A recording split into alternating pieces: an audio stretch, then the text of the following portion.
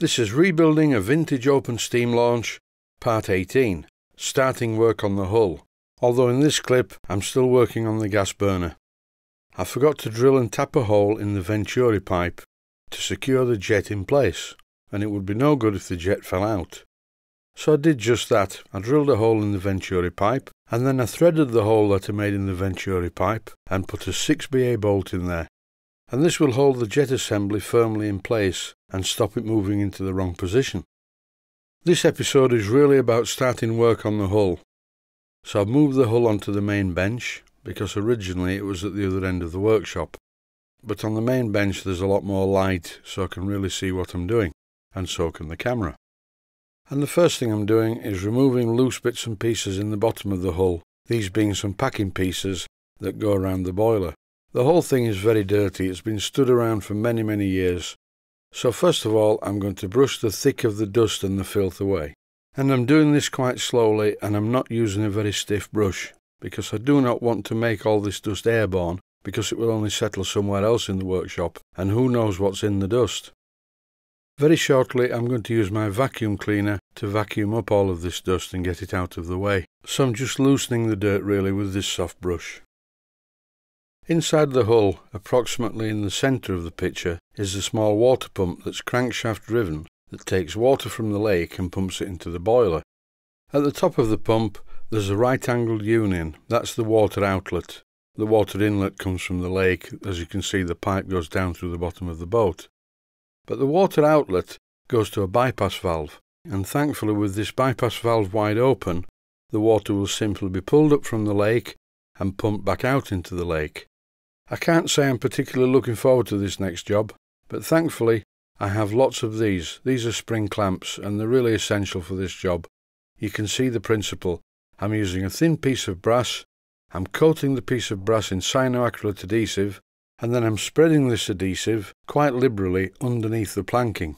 So once this adhesive has been applied, all I need to do is use these spring clamps to hold the original decking veneer, which is loose, down to the wood underneath and once the cyanoacrylate adhesive cures, I don't think it's ever going to come loose again.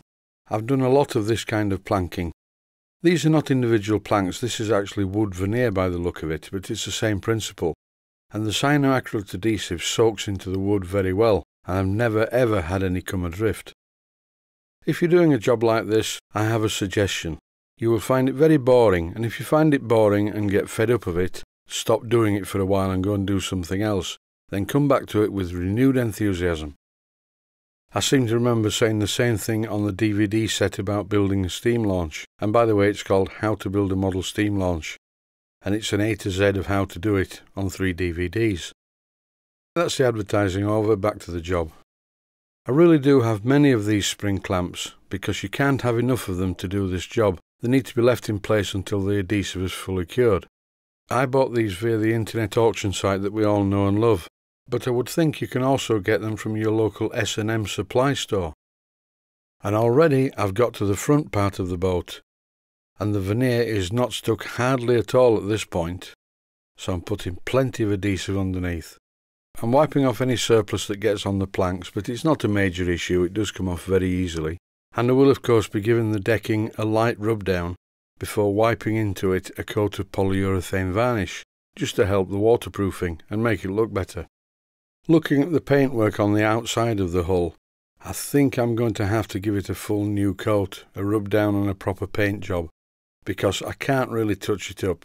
It was easy on the metal steamship because all the hull was built from steel panels, but this is one very smooth hull, and if I touch it up with paint it's going to look awful. I will turn the hull upside down and give the entire outside surface a coat of paint. Not just one colour, it will be red and cream as you see it at the moment, but not damaged as you see it at the moment. Thankfully, it's nearly there now with the spring clamps, and you can really see I do have a lot of them. One can never have too many spring clamps. I also have some very large ones. But anyway, I'm not going to show them all because I don't want any viewers getting overexcited with this amount of spring clamps in one video. With all the spring clamps in place, it's now time to withdraw the propeller shaft and there it goes. This is the propeller, and it's threaded onto the shaft, and then there's a grub screw that stops it rotating loose. But it is actually loose, So I'm taking the grub screw out and I'm going to just have a general look at how tight it is. I may put this back in with some Loctite as well as the grub screw, because the last thing I want to happen is for the propeller to fall off. This next job takes a little bit of thinking about and much care. As you can see, some of the decking veneer is damaged around where the rudder clamps to the deck. Don't forget this is a pond launch and it was arranged so that you could lock the rudder in position. But the pressure of the locking clamp and the washers that were there, if you watch the first video, have damaged the veneer over time and I noticed there are some mounting holes as though a metal plate's been screwed over here at some time. But this is a very old boat and this fitting's long gone.